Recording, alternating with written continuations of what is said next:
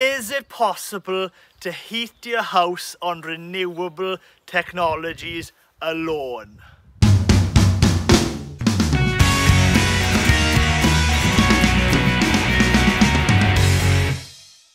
Hello, I'm Griff Rees. Welcome to Gwenyn Gruffydd. Here we talk everything beekeeping, farming, countryside living, and we do reviews as well. Now I'm going to share with you how I heat my home here or heat the farm here on renewable energy and talk you through the whole system, show you the whole system. So if you wanted to do something like this at your small or in farm or even a house, then you would be able to follow how we've done it. So starting off, we've got solar panels on the roof.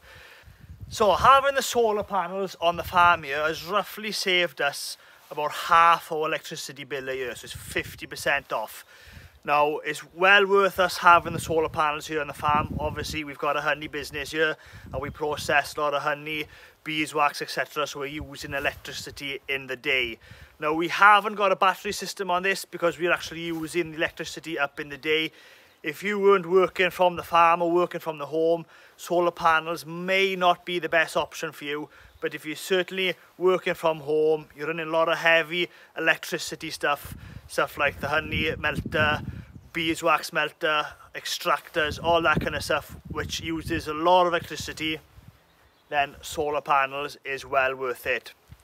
Now, this solar panel is actually heated directly linked to the central heating system and the hot water system as well but I'll show you that as we go through the system.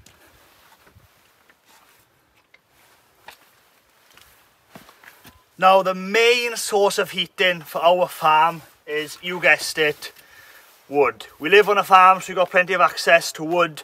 We cut the wood down, split it, season it, we dry it up in this log store or I should say my dad likes to do all this work so in fairness to my dad he stacked this shed up he's done it for a good couple of years for us now and uh, he does a fantastic job that's not my stack in there just in case he sees this video and uh, thinks that I'm taking the credit my dad stacked this log saw for us and that's the kind of wood you're looking for so we burn a lot of ash especially now with ash dieback I think the majority of what's in here now is ash. We've got a lot of problem in the UK now with ash dieback.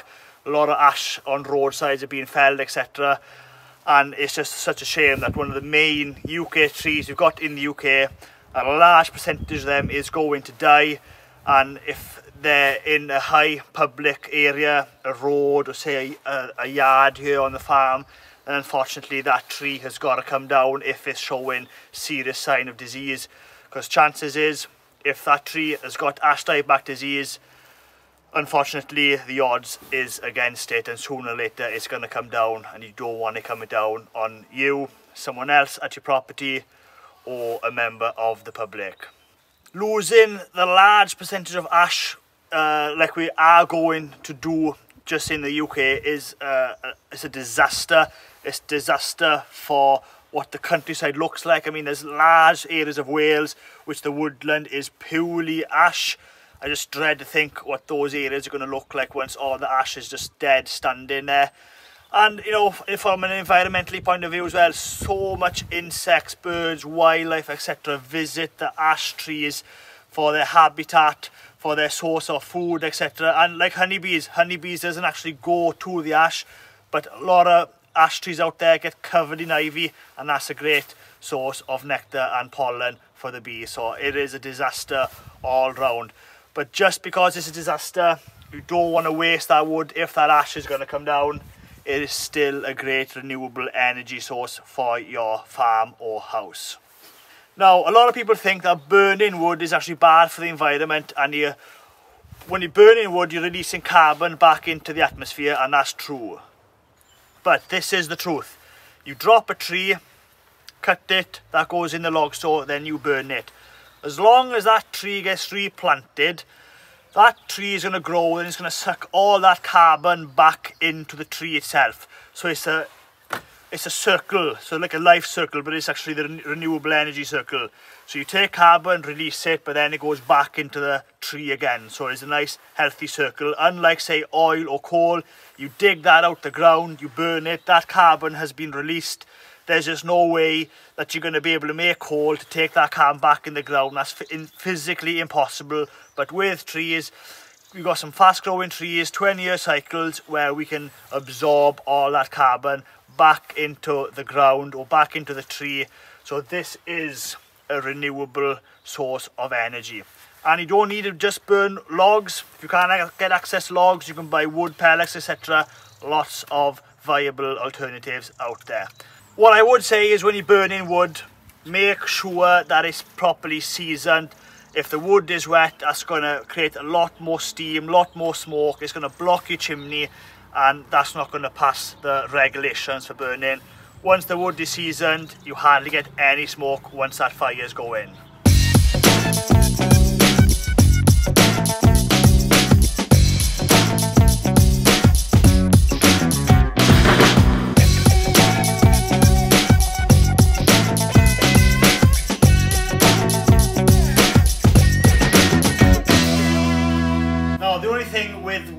is there is a bit of work involved every day. You've got to get the wood, bring it in the house. A basket like this normally lasts a day per wood burner, so you do need access to a fair bit of logs. It's not for everyone, but it's a great way to save money and again, super green and super efficient and sustainable. And then again, it's not just the work of carrying the wood into the house, you've got the ash pan to empty as well, That needs emptying roughly every three, four days. Just creates a lot more dust in the house and it just means you need to clean the house more often. This is the Rayburn and this is the heart of the heating system here at Bryn Bach. This Rayburn heats the hot water and the central heating and this will easily do the whole house just on this one wood burner. Now if you wanted to get central heating up really hot, we do need lit the other fire which is connected up to the system. So it's a great time just to talk about that. So we've got a hot water system upstairs. This is linked up to it and another wood burner. The solar panel is linked up to it as well. So you've got two sources of wood by uh, fire heating, the water and the central heating as well as the solar and there is oil backup if we need for whatever reason, run the oil instead of using the, the renewable energy. Now, like I mentioned, most of the time, this Rayburn is all we, we need to lit up in the house. It's only when it's really cold we need to get the other fire going as well. Because the biggest thing with wood burners in the house, unless you've got a backup boiler on it, a lot of the energy created and the heat is wasted. It's just tied up to one room where, because this is tied up to the central heating system, we got, we've got zero heating waste. Every heat that this produces is re-transferred to the rest of the house. So it's not just building a huge amount of heat in one room, this does spread it around the farm. And the added benefit of the Rayburn is compared to, say, a normal type of conventional wood burner, you've got the oven here, cook your food in, and you've got the hot plates where you can also cook your food. So this by far is the one wood burner heating unit of the house you will use all year round. Uh, buying this Rayburn was the best thing we did for our farm. Number one, the amount of money we've saved not buying oil and number two, just by having pretty much free hot water off the fire.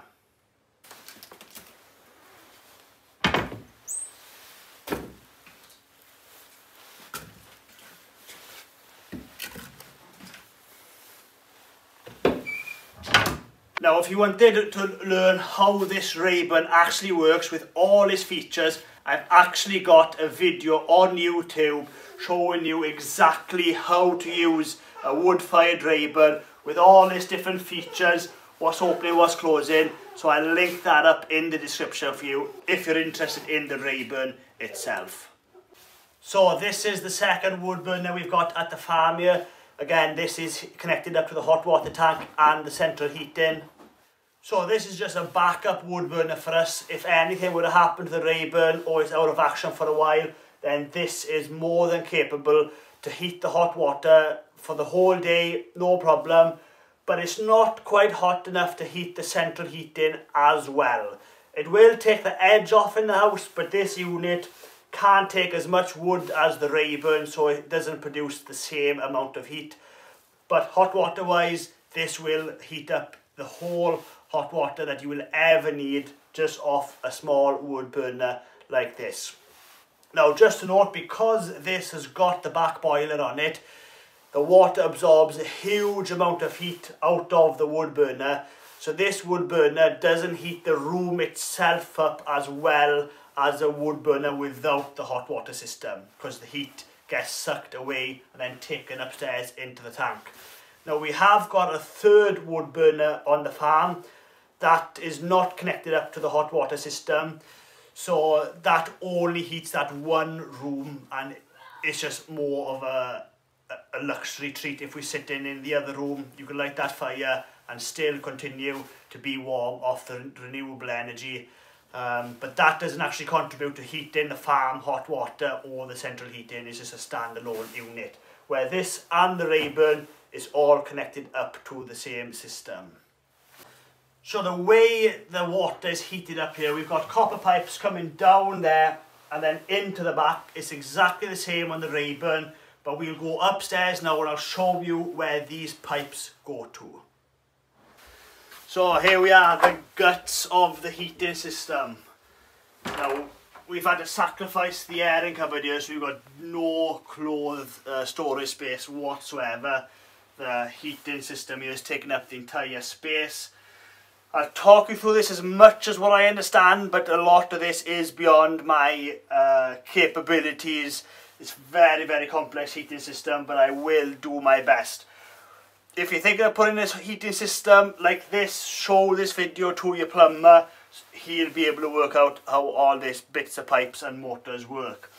So we've got a big copper heating tank insulated to keep the heat in and the insulation on this is absolutely tremendous if the fire were to go out to say 4 o'clock in the afternoon, you can still have two or three showers at 8, 9, 10 o'clock the next day and the water is still red hot. That's how good this is at keeping that heat. It will easily keep the heat in here for 18 plus hours with no extra heating going into it. So, we've got three thermostats. I'll start about this. So, one of these is the oil central heating backup. One of them is the Rayburn, the other one is the wood burner. Now all these are connected up together. So on the thermostat, the top one is set at 70, then that is set at 65, and then that there is set at 50. The idea is it's hotter at the top of the tank than at the bottom of the tank. So if any of these thermostats kick off because this tank has gone too hot, any one of these motors this red bit that you see here kicks on and then it starts circulating the heat from the tank and then into all the radiators in the house cooling the tank by doing so.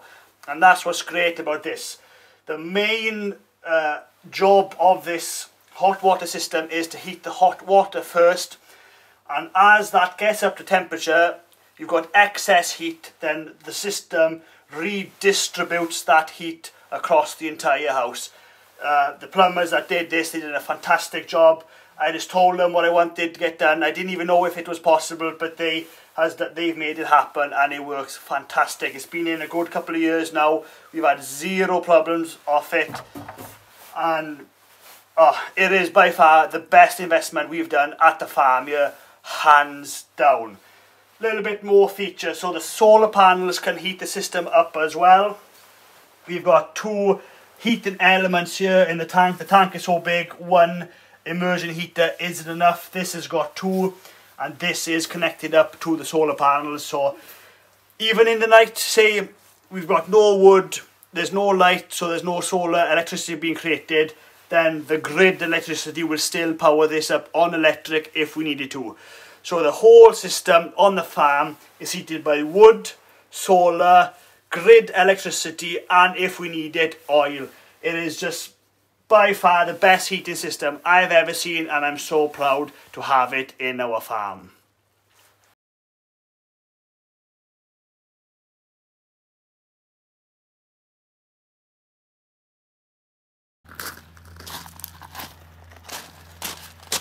So back to the question, is it possible to heat your home on renewable technologies alone? And the answer is, well, it depends really.